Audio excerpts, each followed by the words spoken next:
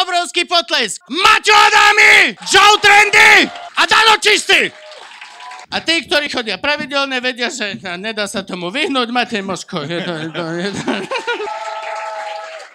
No Gabo sa vyjadril pre médiá, že myslel si... Koľko jeho akože my nejsme s tým kamaráti, alebo čo?